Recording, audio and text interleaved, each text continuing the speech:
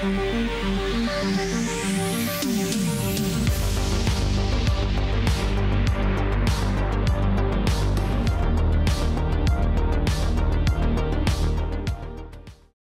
name is Rohit Talluri. I am a member of the Foundation Model Training and Inference team at AWS, and we have an amazing talk, super, super awesome founder here talking about voice AI. So Arjun, why don't you go ahead? Awesome. Well, thanks for the intro, Ro. Uh, I'm Arjun. I'm one of the co-founders of Cartesia AI. Uh, you know, I'll give you a little bit of a spiel about what we do, which is that you know we build real-time multimodal intelligence that runs on any device. Um, so maybe you know the topic of this conversation will be focused a little bit more on how do we build voice AI for enterprise.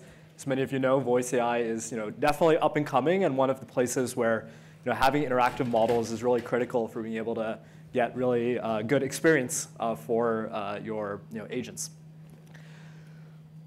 So just a little bit of a recap, right? When you think about foundation models, you know, we often think about you know, models that are hosted in the cloud, really large. You know, they're doing things kind of in batch mode, right? You know, you submit a request and then you might get something back. You know, you're not going to get it back 30 seconds later, but you might get it back you know, in 500, 600 milliseconds, and you know, that's okay, right? Typically for text, you know, you're not also going to be reading uh, at speeds of uh, like 200 tokens per second, uh, and so it's okay if you know, you, there's a little bit of a delay and then you get high throughput later. But when you think about interactive applications like video and voice especially, this is an incredible visceral experience that you're giving to your users. Speed is of the utmost importance, and quality is just table stakes. So at Cartesia, we're really trying to change the paradigm of how we think about foundation models to not just be like in the cloud, what you build for batch operations, but actually how you bring, bring it to real time, have it cover multiple modalities, and we'll be talking more about voice today, and have it run anywhere the, in the world, not just on the cloud, but on any device. So because we're talking a little bit about voice, I want to maybe give a little bit of a prelude why it's so important to think about speed. Imagine you're having a conversation with the person next to you. Uh, and you probably should do that after this talk. But uh, I think the main thing is that it would feel really awkward, right, if you were trying to talk to someone and they responded a second later. So in voice, you don't have seconds to actually give your response back. You have milliseconds. And when you think about voice agents, where you might be calling you know, customer support on the line trying to triage your problem, you're going to get pretty annoyed if it's not responding to you and giving you accurate results as soon as possible. So when you think about voice, you have to deal with things like interruptions. You have to think about globalization. These things relate to accents, right? Background noises that you might be calling from. And at the end of the day, when you actually want to deliver this experience, it's incredibly subjective. So there's so many nuances and customizations that you want around voice. So what we've done at Cartesia is really thought about building solutions for voice AI on the modeling side from first principles. We care about three things. The first is quality. The naturalness of the voice must be exquisite and something that is just table stakes for the kinds of experiences that you want to be able to deliver. The second is latency. You want to be able to hear the first byte or the first sound of audio on the other line as soon as possible. This gives your end-to-end agent a lot more time to be able to do things like reason more, right, and have a little bit more slack in the end-to-end system. And third, arguably most important, is controllability. The experience that you want to exude by having an agent customized for the things that you want to do is a reflection of your brand. You want the agent to be able to talk about what your company is or what you're trying to sell in the way that you would. So being able to customize the voice AI to be able to do this is critical and paramount to being able to deliver a great experience to your user. So what we've done is we've pioneered a new architecture called state space models. These are an alternative to transformers. And the main takeaway here is that typically transformers scale quadratically, which means the longer your inputs get, you get quadratic scaling in your memory as well as in your, uh, in your runtime. So you know, the longer your inputs, the slower your models get. With state space models, or SSMs, generation at inference time is O of 1. We maintain a state that you can generate from, and this means that you have perfect, very low latency, things that you can't achieve with traditional transformer architectures. What we've pioneered is that these state space models typically have been you know, lower performing in the recurrent sense compared to transformers, but we've closed that gap. And our models actually perform not just better from a latency perspective, but also from a quality perspective. So I can give a little bit of a spiel about you know why this matters, but I think we're more interested in having more of a conversation Yeah. around voice AI. So Ro, why don't you kick us off? Definitely. So just so you all know, this was supposed to be a fireside chat. We had Yeah. some chairs and asking some good questions. So we're going to open it up to the audience in a little bit. I do have a few questions for you, Arjun. Talked a little bit about latency. We hear voice AI challenges like quality and let's say the speed of the models as mentioned, the way that they're hosted on the edge, et cetera. What are the challenges that like your customers are facing? Why are you building for this?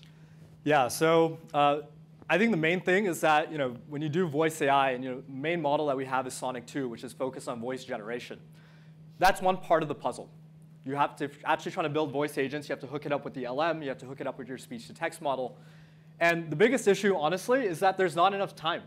You need your LM to actually have a lot of time. You know, these models aren't typically built for you know high uh, or low latency workflows, and so you want to actually give it the most slack. So latency is you know, of utmost importance there. And I can talk a little bit about you know, what we've done to create the fastest model in the world for text-to-speech.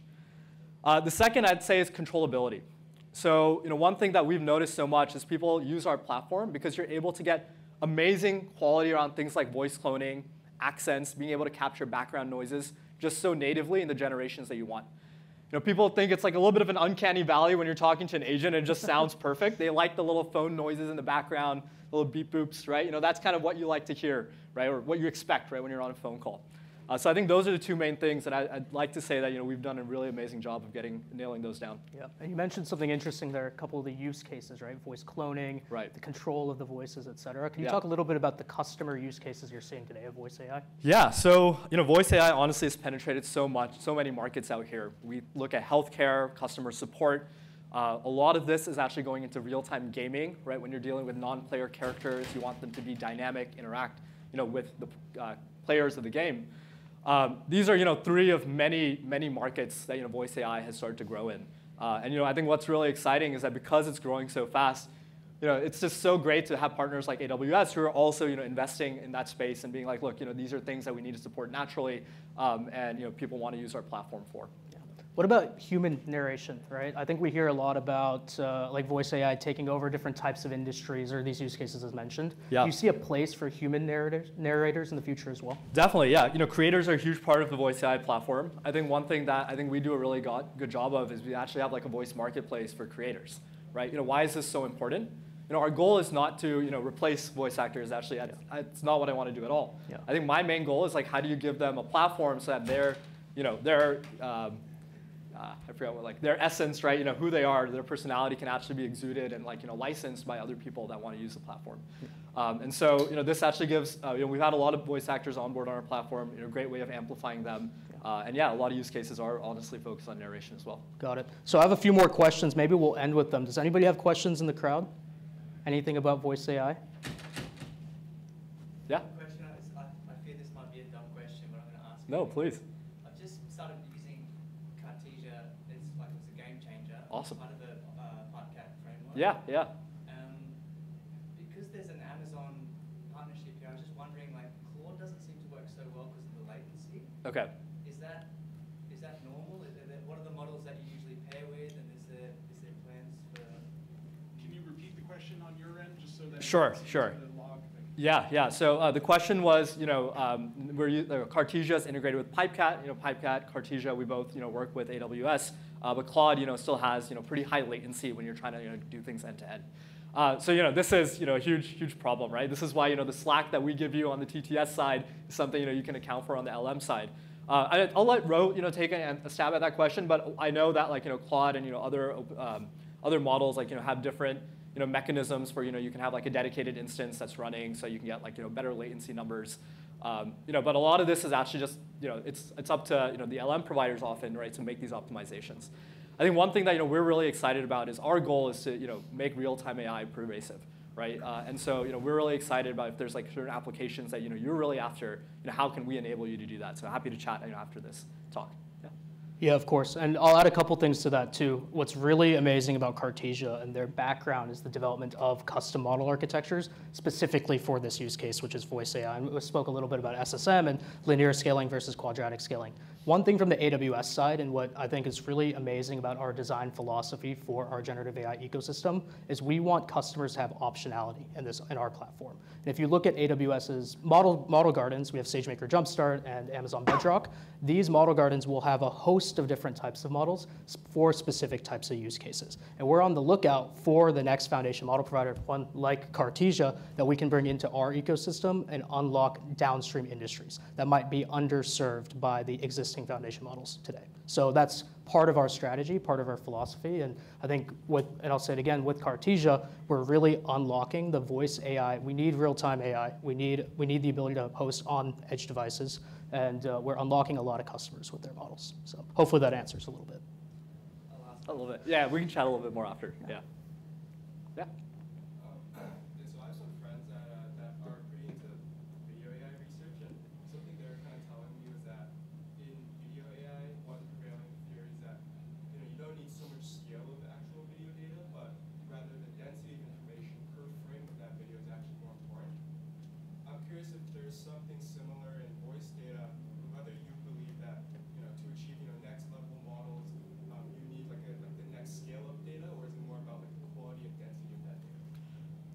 Yeah, that's a good question. So I think the question uh, was more around the lines of like, you know, how does voice AI data, you know, compare to you know, some of the other multimodal data sets in video?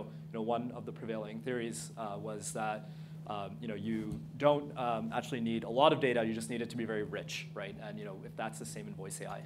Uh, I think the short answer to that is uh, yes, but also no.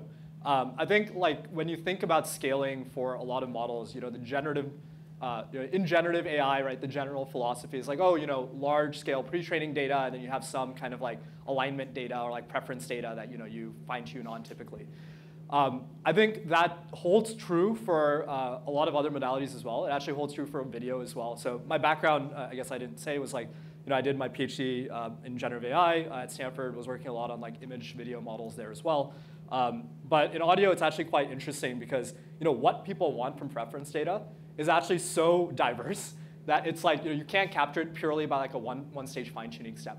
So yeah, you definitely need very rich data. You know, you need high quality data, of course, but you also need to pair it uh, with information that like, you know, many, many different kind of people will want. So, uh, you know, this is how traditional LMs are trained. I think a lot of the, like, you know, large open source, you know, uh, image generation, video generation models also are trained this way. Uh, but honestly, just really depends on what you're trying to, trying to get after. But yeah. sorry, I don't know. I know that's not a satisfying answer, but yeah. What's your take on the speech-to-speech models? I know Amazon has one. It seems immature, I would say. Yeah. Um, but is that the future, or like what's happening? Yeah, it's a, it's a great question. Um, you know, I think there are places where like speech-to-speech is valuable right now, but I don't think it's at the point where we can actually use it for you know, production or enterprise-grade uh, use cases. Um, and you know, it's great. You know, I think you know, uh, Amazon released uh, the speech-to-speech model recently. Um, you know, I think there's a few others that are out there as well. Uh, but I think it's still pretty clear that like orchestrated solutions are places that you get a lot of controllability around like how you want the different pieces of your system to operate.